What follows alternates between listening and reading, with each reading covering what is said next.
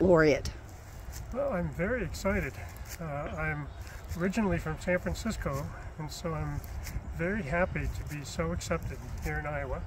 I'm glad to be able to uh, spread the good news of poetry, uh, teach workshops for Iowans, uh, give poetry readings, and present other poets. Uh, it'll be it'll